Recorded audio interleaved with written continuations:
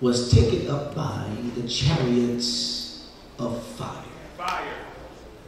As he was being taken up, Elijah asked Elisha, What do you want from me? He said, I want a double portion of everything that you possess. Uh-huh. And he said that you've asked me a difficult thing. It would not be difficult for Elijah to drop the mantle. He was saying it would be hard, a hard thing for you to understand the manners and the methods of the mantle that you are requesting. You gotta be careful when you ask God to anoint you. Because most folks want the anointing bypassing the aggregation and agitation. Most folks want the anointing but don't want the pain. They want the anointing but they don't want the suffering. And so Elijah was saying to Elisha, I'm not sure if you understand what you are asking. But once he received it, he began to retract places that they had previously been. The Bible says, as soon as he received the mantle, he went back to the Jordan and he struck the Jordan just as his predecessor did. And the Bible says, and the Jordan opened Open. up for him just like it did for Elijah. How many of you know that when you walk in a position of fellowship, you enjoy the dividends of leadership? Then somehow when you receive the impartation from those that have gone before you and you ask God to give you this, and this is protocol for double portion. That double portion belong to those who have positioned themselves in a position to receive it. And so he positioned himself properly there when the mantle drops. The Bible says he received it. He goes back to Jordan and he hits the Jordan, and the Jordan opens up just like it did for Elijah. Sometimes you have to keep spiritual scissors in your hand because there are some folk you got to keep cutting off because I'm trying to keep my ground from becoming barren. Ah, the reason why I cut you off because you are a joy snatcher.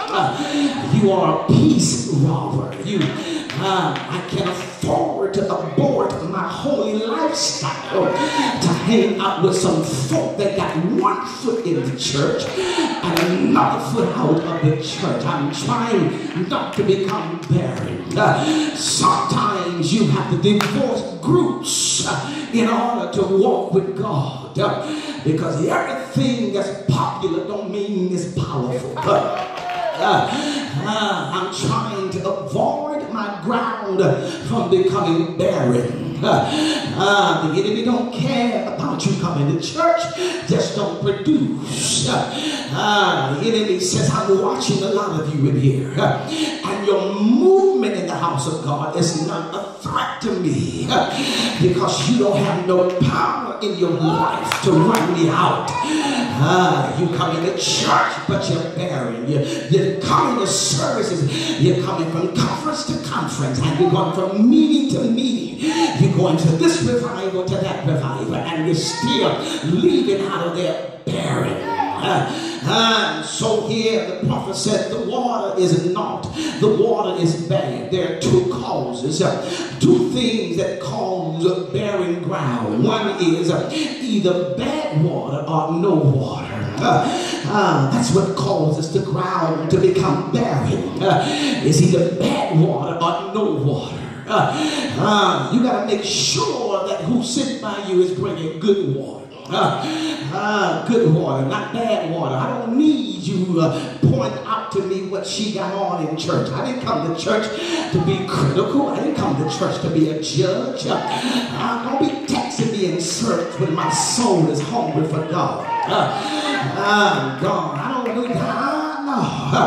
I'm too busy watching the gates of heaven open uh, because I came for an outpouring of the Spirit of the living God. Uh, not only do you not have it, now you don't even want it. You got to be careful when you allow your spirit to stay in a drought too long. Because not only do the enemy wants to get you to the place that you don't have no joy, he tries to get you to a place where you don't want no joy. Uh, there's some folk looking at me right now. Uh, you used to be on fire, but now you don't have no fire. You used to want to please God, but now you done got careless. Uh, you're hanging out with all kind of wicked folk uh, that done made you shift from being hot to now cold. Uh, and God says because you're neither lukewarm, hot, or not cold, He calls you lukewarm, and He says, I'm going to spew you out of my mouth. My walk with God is too important uh, to let any lag come in my life uh, and rob me of everything that God has deposited in my spiritual life. Uh, you can't be spiritual and carnal at the same time. Uh, so here he says here uh, that now you've got to the place that you don't want it. Uh, you don't have it and you don't want it. In other words, uh, you're saying, I'm used to it not raining. I'm, I'm used to it not feeling the presence of God. I'm, I'm used to not being in the flow of what God has for my life. And suddenly you settle for the place of drought and the place uh, where you never feel God. Uh, this is what happened in the text. Uh, they settled for the place uh, where they came, but God wasn't there. Uh, I'm tired of coming to church uh, and God is not there. if God's not there, no power is there. If God's not there, no miracles are there. if God is not there, there's no signs and wonders there. I'm tired of coming to the congregation year after year. Uh, saying we had a good time, but where is the evidence uh, in your lifestyle?